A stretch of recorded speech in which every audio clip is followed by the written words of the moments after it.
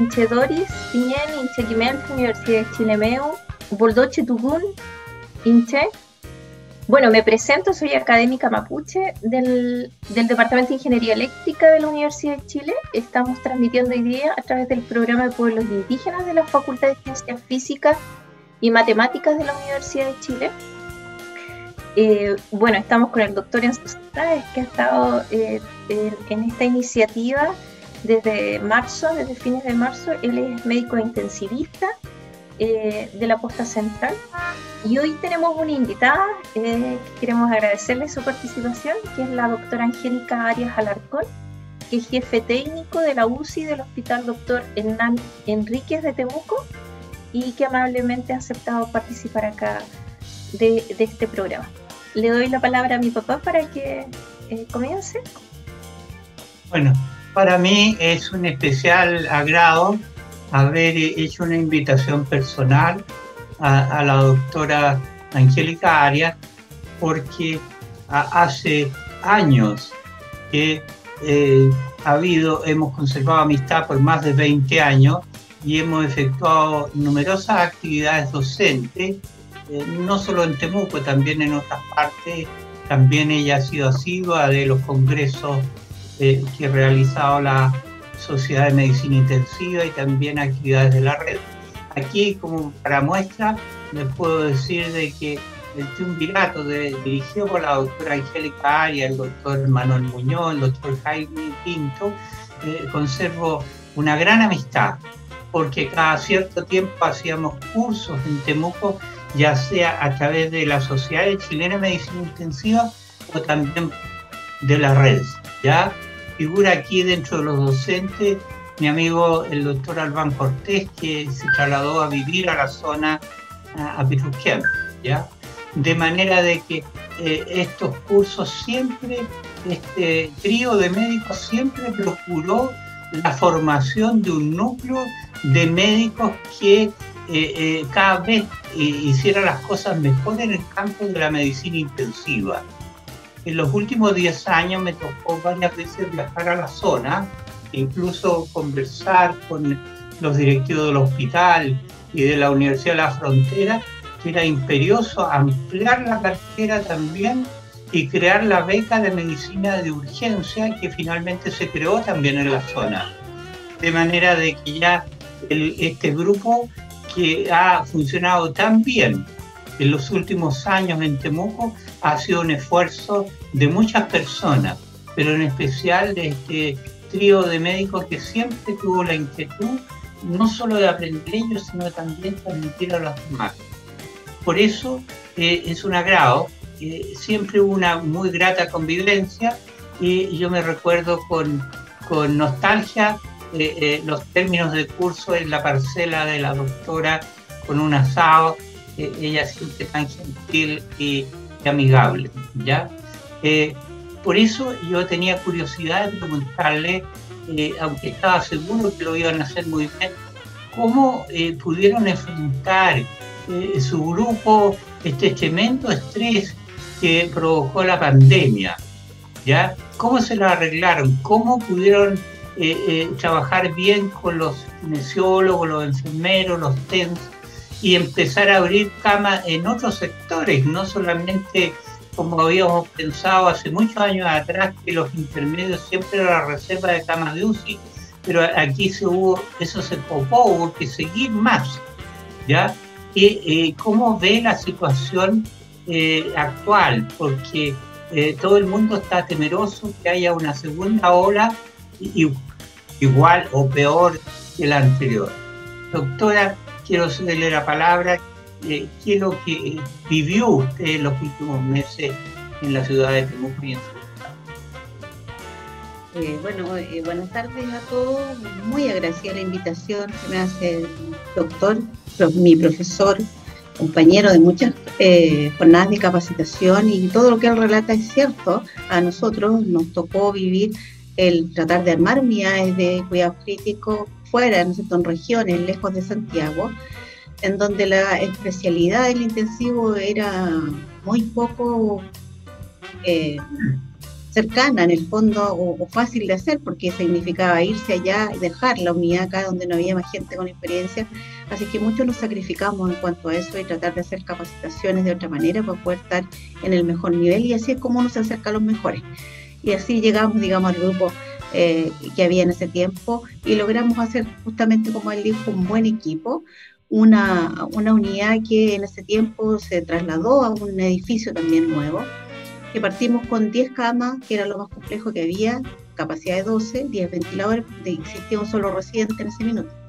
Después pasamos a las 12 camas con dos residentes eh, eh, y con los respaldos del doble de camas de, de. Eh, tuvimos el tiempo, afortunadamente, de ir formando gente a poco. y día hay más facilidad para llegar a, a las subespecialidades. y justo en este tiempo, el año pasado y este año, logramos contar con los primeros dos intensivistas formados propiamente tal en la unidad. Por lo tanto, justo llegaron en la época que teníamos la pandemia y que fue el gran apoyo que tuvimos en este tiempo, estábamos gente joven. Eh, y que pudiera, tuviera la capacidad también ¿no de organizar y de ver lo complejo que era este tema. Eh, les comento, nosotros en nuestra unidad son 12 camas de UCI, 24 camas de UTI. Eh, y eso era lo que teníamos para enfrentar, aparte de camas de la red, que no contábamos con eh, en ese minuto con la complejidad de poder decir que íbamos a contar con siquiera con los residentes para, ello. Por lo tanto, había que concentrar lo que era más complejo en Temuco. Eso lo teníamos clarísimo. Y hacer un diseño de tal como está establecido, pero que sí funcionara con lo que tiene que ver con la red, ¿ya?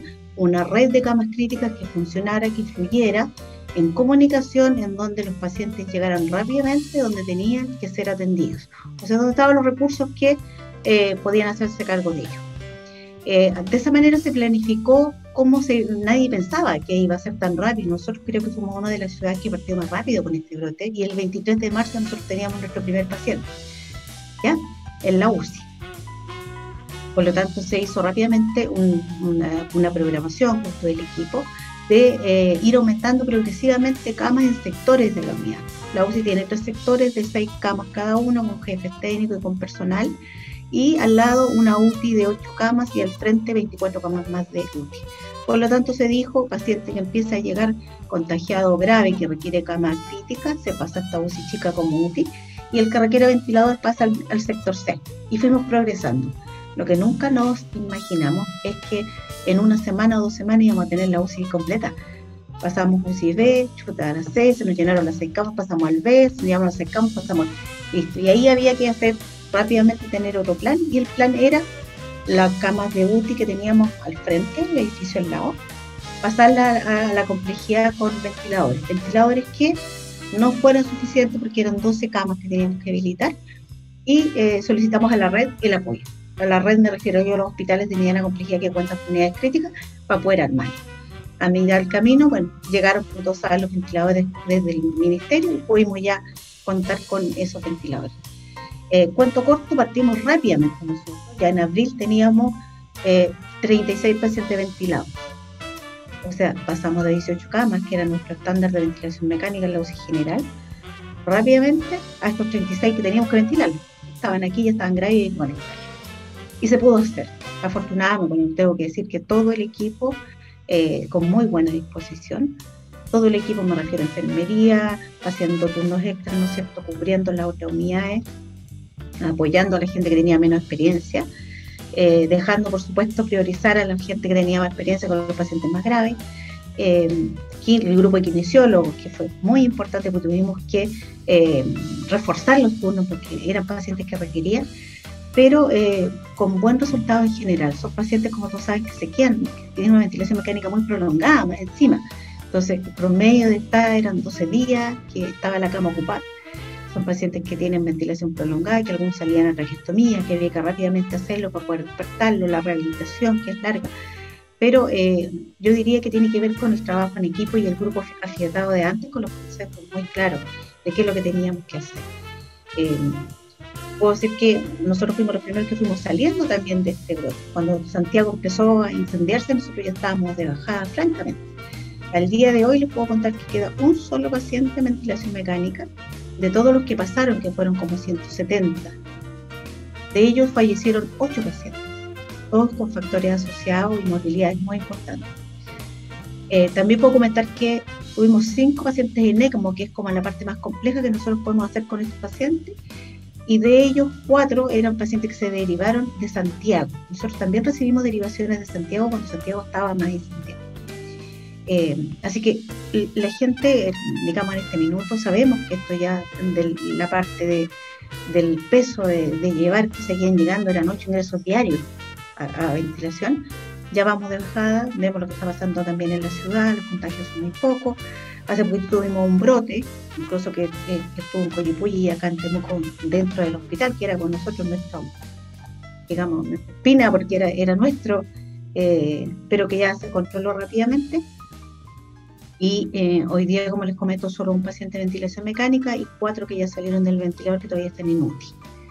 Así que eh, yo podría decir que eh, el resumen de esto, eh, uno siempre tiene que ver la oportunidad de estas situaciones que a nadie le gustan y sabemos que han sido malas, pero yo puedo dar fe que yo peleé años, 15 años para lograr crecer con una unidad en ventilador, en recursos humanos. Y la, pandemia lo que vino a darme fue que de un rato para otro me armaron otra UCI en un tercer piso, que es la UCI que nosotros tenemos armada hace un mes, dos meses, con seis camas de UCI, con 12 camas de UTI, apareció rápidamente el equipamiento, esa UTI va a quedar porque se tuvo que modificar, modificar la estructura de él porque era sala de agudo, que hubo que cumplir con estándar de UPC para los habitáculos ¿no de UCI y de UTI. Y eso va a quedar. Por lo tanto, hoy día la pandemia nosotros nos dejó una nueva UPC que cuenta con seis camas más de UCI y 12 eh, camas de UTI, con personal, con capacitación, con ventiladores cosa que yo puedo comparar a lo que nos costó a nosotros tratar de regularizar nuestro UPC 15 años. Hoy día, gracias a la pandemia, eh, yo lo pude tener en cuatro meses. Eh, no es algo que se vaya a ir, ya está instalado. Teníamos una brecha de camas críticas para nuestra población y que hoy día nos estamos acercando a los estándares. Y además que hoy día los más contentos, digamos, en este minuto que estamos viviendo, no toda la UCI abocada al COVID, sino a todas las cosas que teníamos en déficit de antes, como las cirugías complejas paradas por camas multi, que era eh, la pelea con los cirujanos porque les suspendíamos los pabellones porque las camas están ocupadas con otros pacientes, hoy día tienen un flujo espectacular, digamos, son los más contentos porque hoy día ya no hay suspensión de los pabellones complejos porque no hay camas. Así que yo diría que eso es como hoy día el resumen de lo que pasó con nosotros. Nos vimos enfrentados antes de tiempo, eh, antes incluso que Santiago, pero uno sabe que cuando hay un equipo que se ha formado de antes, que está afiatado, que hay grupo con el resto de los profesionales, se puede. Además, bueno, la, em, autoridad también que tiene que estar alineado con creerle cuando uno pide cosas y que no son por pedirlas, sino que em, era necesario con mucho criterio, diría yo, en, el, en hacer un plan progresivo de ir abriendo de acuerdo al problema que íbamos a ir viendo eh, que hace que la gente sea más sensata y que también a uno le, le, compre, digamos, cuando uno va a exponer algo. Eh, igual quiero decir que hoy día hay, gente nueva en la jefatura, yo hoy día estoy en una jefatura técnica, eh, pero siempre se mantiene el, la discusión de las, mm, cosas que hay que ir cambiando o, o, que debemos gestionar rápidamente con todo el grupo, incluso con otros profesionales. Eso más o menos como el resumen, ¿no? Igual, ¿Cómo ve usted, doctora, eh, eh, si hubiera un nuevo brote? Usted veo que actualmente tiene camas en reserva, ¿ya? Y, si fuera necesario crecer a la misma magnitud, ¿eso se podría hacer en poco lapso? O sea, hoy día, eh, claramente, si en esta situación nos hubiera pillado la primera ola de COVID, habríamos estado súper bien o sea, hoy día podemos recibir todo lo que vimos antes, que fue mucho, y un poco más porque quedamos más holgados. Tenemos que convertir camas, tenemos el personal cómo hacerlo, eh, y afortunadamente ganamos una UPC nueva. Por lo tanto, hoy día nos estamos dando el lujo de tener una UPC que es quirúrgica compleja, así como casi electiva, para los pacientes de pabellón, que rápidamente, si necesitábamos en una urgencia, que debiera ser mucho más grande de lo que tuvimos. Doctora, igual y Ahí parece que se pegó. La imagen sí, pero la voz te escucho. Ahí sí, sí. Bueno, eh, doctora, ¿y cómo ve la situación general de Temuco? Yo tengo mucho afecto por Temuco, pero estoy consciente. Mi hija se compró un departamento hace poco ahí, Bueno, pero yo sé que si uno anda en la tarde, me pican los ojos. Y, yo creo que hay smog, pero en realidad no es smog, es humo, ¿ya? Entonces, hay mucha contaminación en la ciudad y, y bien eh, eh, hace frío en esta época, eh, prácticamente en todo el país no ha habido otros virus respiratorios. no hemos tenido sincicial respiratoria, adenovirus, virus influenza, y eso ha salvado porque al menos los niños que no han, no han ingresado a clase han estado totalmente protegidos este año. No sean, yo tengo nietos que no se han resfriado en todo el año, ¿ya? Pero no han podido volver a clase. Yo sé de que hay mucha pobreza en la zona y ha sido duro la cuarentena. ¿Cómo usted ve el proceso de, actual en Temuco?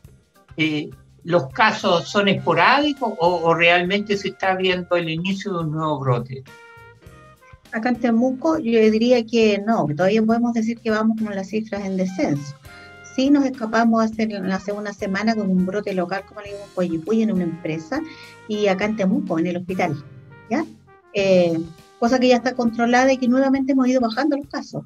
Así que se ve como lejano un brote ahora acá, pero sí nos preocupa el tema, uno, eh, de la libertad un poco, ¿no es cierto?, de, las cuarentenas y de los cordones y, la gente. Cuesta que la gente, como en todas partes, no se aglomere. Ahora para el Día del Niño fue impresionante, como estaba en las tiendas. Eh, y, que, y que mantenga el tema de las mascarillas, la distancia, así es eso, el lavado de manos. Yo, yo, mucha gente como sabe que uno está en la UCI, que está con los pacientes, y cómo vamos. yo entro en conserje del edificio y me dice, doctora, ¿cómo vamos hoy día? Así que, ¿cómo está la cosa? ¿Vamos mal? ¿Vamos bien? ¿Estamos mejor?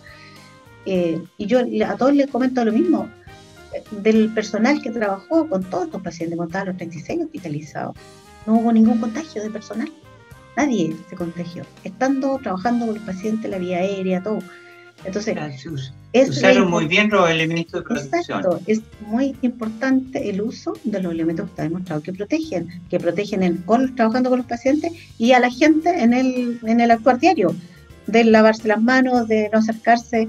Eh, yo creo que que hay que estar vigilando el tema de la gente, de, la, de hoy día se abrió un poco más el toque de queda, vienen los días más bonitos en Temuco, la gente como está todo el invierno encerrado con frío, más cuarentena, que salga el sol un rato y la gente quiere salir corriendo, ir un rato a la playa, ir a la nieve, eh, y yo creo que eso hay que irlo vigilando.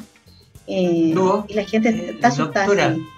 le cuento que yo he acompañado varias veces a mi hija a Temuco y a la zona Nueva Imperial, porque tenemos familia la región de Boldoche.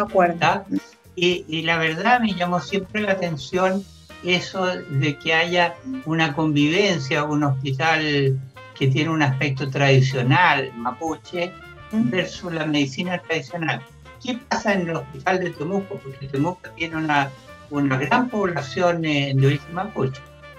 Eh, ¿Cómo eh, se maneja esa parte?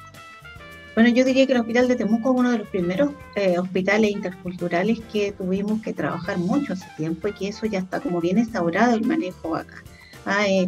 Hay, yo diría que hay una apertura hacia ese tema que ya está, ya está concientizado en todos los funcionarios y en la gente que llega. Nosotros tenemos muy bien delimitados flujos y todo, y cuando hay la necesidad, ¿no es cierto?, de, de, acercar, de incorporar a, a, gente que llega, a lo mejor con el problema del idioma y todo, está en la, oficina de la llegada al hospital de, de interculturalidad, donde están las, asesoras del Namundumbun, que es un grupo que está ahí a la llegada.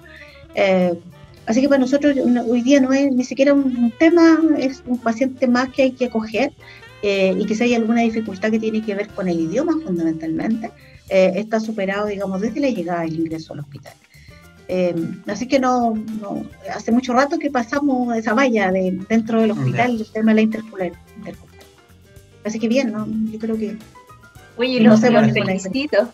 Aquí, complementario a la pregunta también de con respecto eh, que el hospital está muy preparado, ustedes también, eh, pero ¿cómo está, aquí preguntan desde UFRO Medio, ¿cómo está el equipo de salud en términos de, estado de salud, del, estado mental en realidad y anímico de los médicos y el personal de salud para enfrentar una nueva ola, porque ya se sacrificaron un montón.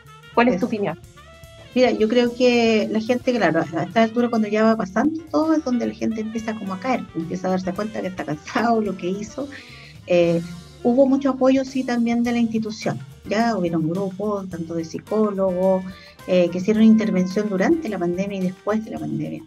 Yo, eh, en el tiempo que, estaba ya saliendo el tema de la pandemia, yo estuve fuera un rato, lamentablemente falleció mi mamá en medio, tuve que salir. Y eh, cuando vuelvo, vuelvo a la otra unidad nueva abajo, que no era COVID.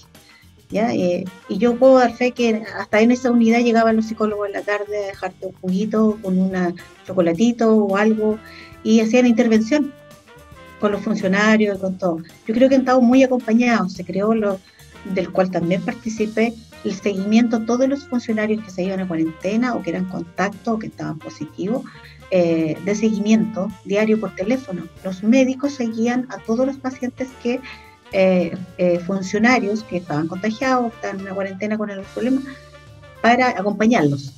Em, una segunda ola en esa misma gente, no sé si sería lo mismo. Creo que la gente tiene mucho, mucha gente muy que quiere hacer mucho. No sé si el cuerpo va a dar, porque de verdad que había mucho cansancio. Espero que no exista la segunda ola como tal. Nosotros apostamos a eso. Creo que, que la gente se asustó y Temuco rápidamente, después de la primera cuarentena y todos los casos en el hospital, y, la gente se asustó. Eh, yo creo que eso hoy día se les quiere olvidar, pero como Santiago nos recuerda hoy día que todavía están eh, casos en aumento, debiéramos manejarlo. Posible decirte vamos a andar bien todos, porque no, lo sé, pero mm, creo que hubieron muchas medidas de contención para el personal también, así que se, le dieron otras facilidades de las cuales yo creo que va a costar a la autoría sacar, como los traslados. Se empezó a trasladar a, los, a los funcionarios aparte, los que van al hospital, los que venían de otra parte. Entonces esos son derechos que van a quedar probablemente que se van a cobrar ahora. Eh, bien, yo creo que, el personal es lo normal que le va a pasar a alguien que vive algo así. Muchas gracias. No, llamar a la gente que se cuide también harto para apoyar a nuestro personal de salud. Papá, te damos la palabra para que nos cuentes cómo está la situación y, nos muestres tu, tu presentación. Bueno. Gracias, doctora. Gracias a ustedes, un gusto. Y nos van a hacer algunas preguntas después. Ya. No, está avanzando. Hay que hacer escape a veces. Bueno, les cuento que estamos transmitiendo por UFRO Medio, UFRO Visión. Pueden hacer sus preguntas ahí en, en, Facebook y, y, también a través de un WhatsApp que está acá. Y también a través de, estamos transmitiendo a través del portal Pirque Noticias y el programa de pueblos indígenas de la, de la Universidad de Chile. Bueno, yo quiero mostrarles cuál es la situación en el país. Hoy en día tenemos eh, una cantidad de casos diarios extremadamente baja. Recuerden que en mediados de junio llegamos a más de 7.000 casos en un día, solo 1.200 casos. Y lidiamos con eh, más de 35.000 casos en diario activos. Aquí solamente tenemos 15.000 casos. Recordemos que eh, alrededor de un 4 o 5% en dos semanas más pueden estar hospitalizados en UCI. ¿Ya? O sea, eh, eso quiere decir que en 10 o 15 días más va a ser una cifra más pequeña de la que estábamos acostumbrados. El número de fallecidos diarios ha ido bajando y, y lo cosa muy interesante es que la tasa de positividad hace rato que está bajo el 10%, que era recomendable, incluso hoy día bajó un poquito más, 6,4. ¿ya? El número de pacientes ventilados ha ido bajando y la cantidad de ventiladores disponibles ha aumentado mucho. Así que el momento que si la doctora necesita más ventiladores de reserva, pedirlo. ¿ya? Bueno, y esta es la situación general del país. Estábamos acostumbrados en Santiago que había varios miles de casos eh, habitualmente. Ya el último día hubo solo 322. En la zona de la Araucanía, 30 casos, y yo creo que es un poquito más que lo, lo deseable. Y en Magallanes también ha aumentado su poco, ¿ya? En la zona norte también.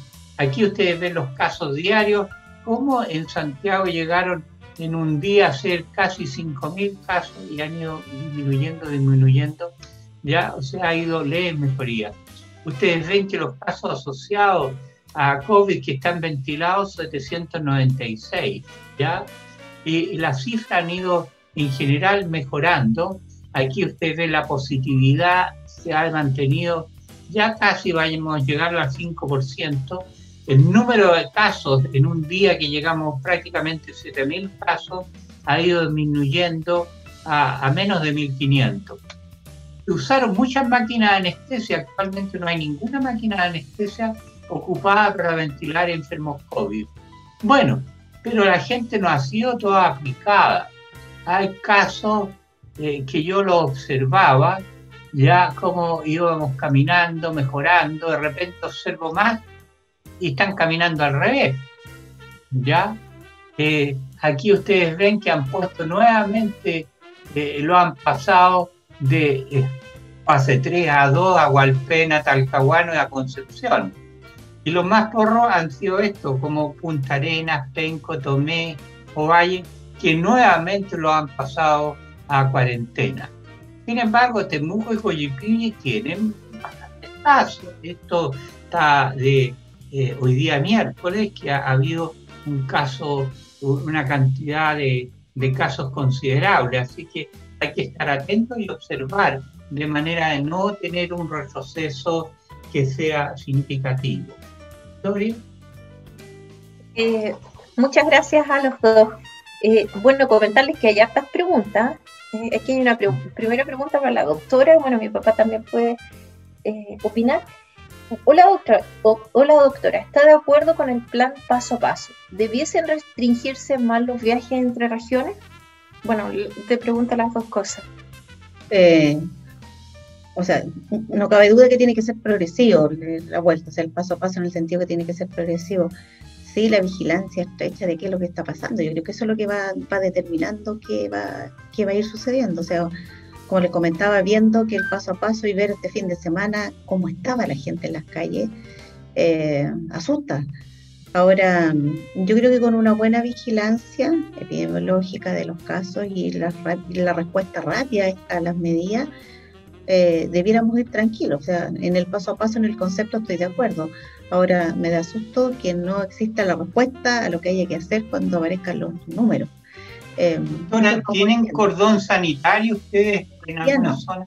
¿Ah? Hoy día no solamente se, se, ha puesto cordón sanitario en el último tiempo, algunos fines de semana largos, cuando se sospecha que va a haber muchas eh, salidas de gente. Aquí toda la gente tiene una, una salida en general a Pucona, Villarrica, esos sectores que, la gente tiene segunda vivienda, entonces se arrancan, quieren irse, pues, y en estos minutos aplican los, los, cordones sanitarios, que me parece una muy buena idea. Y la gente se ve obligada a quedarse acá. Eh, pero hoy día sí no hay con las cifras de hoy día no existe todavía. le cuento, doctora, que hay varias zonas del país que ha sido crucial tener cordón sanitario. Por lo pronto, eh, nosotros tenemos mucha amistad. Yo voy bastante a Pirque, ya tengo una, parcelita de descanso ahí, y resulta de que al lado está eh, Puente Alto. Y Puente Alto está siempre con muchos casos y que se han ido portando mejor, de manera de que indudablemente que ahí hay que atravesar el río, ahí se instala el cordón sanitario y ha sido más o menos eficiente. En el sur, en Natales, donde yo he estado trabajando los últimos años, ya hasta hace, hasta marzo, marzo dejé de ir, ¿ya? Pero yo iba por lo menos una semana al mes para allá en Natal está en un 7, no hay caso o hay uno, pero en Punta Arena está subiendo. Entonces ahí el rol de, los cordones sanitarios es muy importante. Sabemos que hay muchas ciudades, Serena Coquimbo y ciudades en el norte, en que hay que aislar por zona, porque si no, se pueden portar muy bien los ciudadanos de una zona, ¿ya? Pero son invadidos por lo... La gente viene a comprar, viene a, las ferias, viene a abastecerse, y entonces si no hay una restricción, eh, yo sé que es duro eh, estar en cuarentena y yo lo veo más que nada porque eh, yo estoy en cuarentena obligatoria. Una cuarentena bastante especial porque es un decreto presidencial que me impide salir, yo tengo 75 ya cumplido, ya, y no, y no puedo ir a ningún lado, solamente creo que con el certificado de función puedo ir al cementerio. ¿ya? Entonces, yo protesto porque me siento muy bien y tengo ganas de tirar las manos, ya de ver enfermos, de, de hacer docencia, así que por eso me he recluido en la actividad telemática, ¿ya? Pero espero que eh, nos dejen salir. Yo puedo caminar perfectamente, tengo buena salud y, me dan ganas de, de, hacer cosas, pero la verdad que ha sido duro cuando la gente no tiene alguna intención, le entra la depresión y eso es nefasto para el espíritu, ¿ya? Para la persona misma. Usted ha sabido reinventarse cada vez, así que no me cabe duda de que con este tipo de actividad usted está renaciendo de nuevo. así que felicitaciones. Bueno, además ha sido bien bonito en realidad que compartir con mi papá, no habíamos hecho una actividad sin conjunto como esta, nunca. Sí, ha sido bien bonito. Mira, acá hay hartas preguntas, eh, eh, Angélica, mira. Preguntan acá, eh, ¿cómo evitar la alta producción de a ver, perdón, la contaminación atmosférica y el coronavirus van de la mano, afectan directamente o solo exponen a las personas a más enfermedades respiratorias? Obviamente que es un factor que se agrega a todo el, tema complejo del coronavirus, más encima tener la ciudad más contaminada. Eh, respecto de eso, hoy día recién, eh, hace un par de semanas que estamos viviendo episodios de de, de, alerta o de restricción por los valores ¿no de contaminación acá en Temuco muy, muy atrasados respecto a lo que vivíamos antes. Antes ya en abril, fines de abril ya estábamos con, los índices. Y que tiene que ver, claro, con la poca salida de la gente y, y es directamente proporcional. Eh, sí ha favorecido todo esto el, tema de la enfermedad respiratoria, tal como comentaba el doctor, tampoco hemos tenido eh, ni en la parte infantil ni en adultos, otro tipo de virus circulando, lo que eh, igual uno, la, la, gente le demuestra que esas medidas tienen que ver no solo con el coronavirus, sino que son parte, eh, ¿no es cierto?, de la salud y de cómo uno puede cambiar una tendencia de una población o de un servicio de urgencia, o cómo lo van a pasar los abuelos, o cómo van a estar los servicios de hospitalizaciones de llenos. el, el, tener medidas básicas, yo creo que es el mensaje principal y yo no me canso de decir que acá nadie se contagió porque usó bien las medidas. Eh, para que la gente entienda qué es eso. O sea, vamos a tener que volver en algún instante a hacer nuestra vida normal. Pero yo creo que el tema de las medidas de cuidarse, lavarse las manos y en algunas condiciones eh, las mascarillas para compartir no se van a acabar. Eh, yo creo que eso ya, ya se quedó. De hecho, uno la mascarilla, cuando no está en el hospital todo el día, está, acostumbrado. Eh, yo me he pillado en mi casa haciendo cosas, voy para allá, vuelvo acá, he llegado hace un rato y me miro en el espejo y ando con la mascarilla y estoy sola.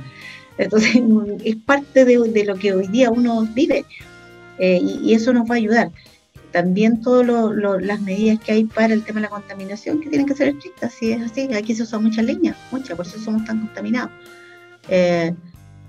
Cambiarnos, ¿no es cierto?, a, las energías que son las saludables, es un tema que tiene que ver con, con la autoridad local y que se está trabajando de a poco igual. Así que todo depende de nosotros, mucho está en nuestras manos, hay que cuidarse, hay que cuidarse, hay que cuidarse, no hay que cansarse en decir eso, es un tema de, nosotros, cuidarnos nosotros. De acuerdo, doctora.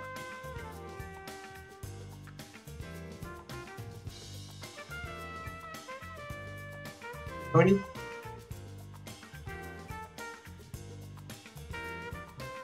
perdió la Doris de la imagen. Bueno, no hay problema, eh, ya luego nos van a avisar. Yo creo que este asunto de eh, la contaminación, el frío, eh, es sinérgico en el sentido de que disminuye los mecanismos de defensivo del aparato respiratorio. Eso es indudable. pero también actúan otros factores, por ejemplo, la gente mayor, es lógico que debemos cuidarnos más, pero se ve mucha gente con sobrepeso, ¿ya? Y probablemente en la zona que se come bien, ¿ya? Porque en realidad se come bien en Temuco, hay mucho gordito, ¿ya? Y, y gorditos de 40 años, ¿ya? Que probablemente son prediabéticos, francamente diabéticos, ya entre los 50 ya están hipertensos, ya no se controlan el colesterol y después se transforman en cardiópatas. Entonces, creo que no solamente eh, uno tiene que preocuparse de, la atmósfera, también tiene que uno preocuparse de eh, no de dilapidar su vida manteniendo una buena dieta, manteniendo el ejercicio y controlando todas las posibles comorbilidades, especialmente tratar de no tener eh, demasiado sobrepeso. usted, doctora, me conoció mucho más gordito, ¿verdad? bajado de peso, mi esposa me tiene a dieta y haciendo ejercicio. Creo que es fundamental cuidarse. Y otra cosa que es muy importante, que la, gente eh, mapuche pregunta mucho cómo se puede eh, mejorar la inmunidad, las defensas y todo.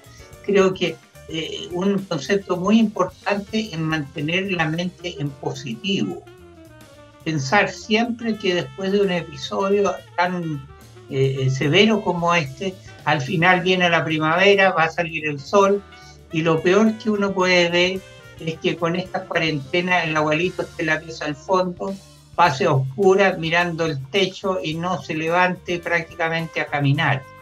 Yo creo que es muy importante, junto con la actividad física, la actividad mental.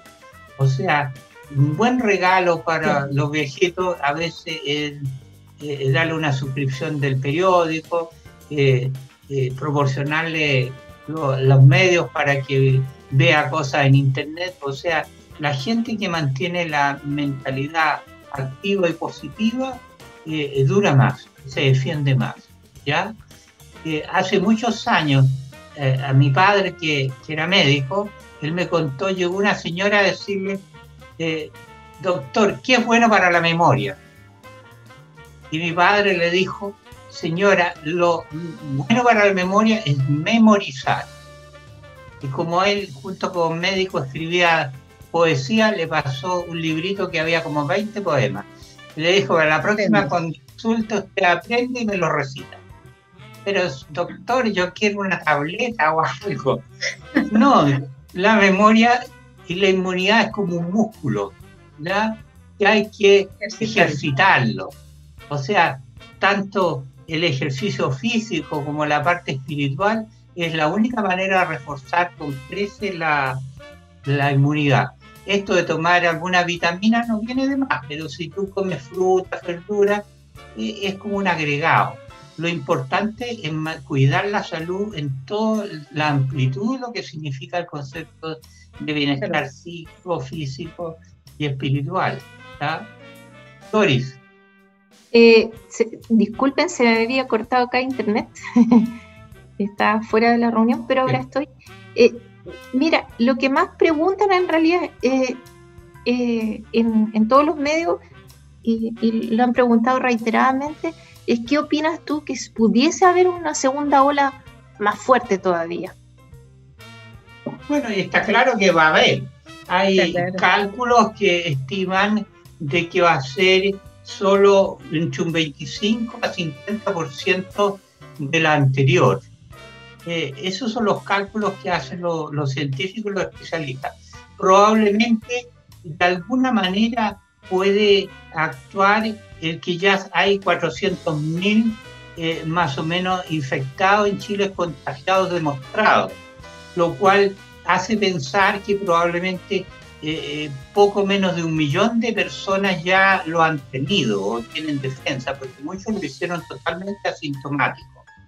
Pero lo que sí se sabe es que para tener un efecto de rebaño tiene que haber por lo menos un 60 o 70% de la población. Nosotros somos alrededor de 19 y medio a 20 millones de habitantes éramos 18, pero tenemos un millón y medio de inmigrantes. Sí, entre medio millón o un millón eh, ya lo hicieron y tienen defensa. Bueno, tenemos casi 18 millones que está esperando el virus para hacer los rechupetes, ¿ya? Porque son todos quienes son sensibles, no tenemos ninguna inmunidad. Así que cuando alguien piensa el fútbol con, o la fiesta o esto, eh, ahí eso va a empezar ferozmente una nueva, un nuevo brote. Pero si conservamos cierta prudencia, usamos la mascarilla a distancia y se abren los negocios poco a poco, esto se va a contener. Por eso se piensa de que eh, un segundo brote no debiera ser más allá de un 25 o 50% del brote anterior. ¿ya? Pero eso es considerable, porque llegamos a tener como 2.000 cristianos ventilados.